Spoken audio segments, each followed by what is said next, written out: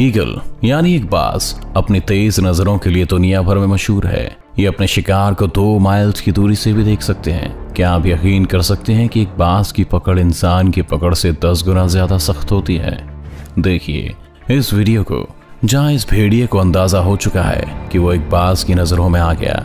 भेड़िया पूरी जान लगाकर भागते हुए बाज से पीछा छुड़ाना चाह रहा है, लेकिन उसके बावजूद बाज तेज़ी से आकर भेड़िए को अपने चंगुल में फंसा लेती है। और अपने पंजों की पकड़ से भेड़िए को दबोच लेती है। भेड़िया मुकाबले के लिए उठने की कोशिश तो करता है, लेकिन बाज ने भेड़िए को बुरी तरह से जकड़ा हुआ है और जब भेड़िया थक कर शांत हो जाता है तो बाज उसे लेकर उड़ जाती है। आज लगता है ये बाज इस भेड़िए को हवाई सैर करवाते हुए ऊपर ही पहुँचा देगी।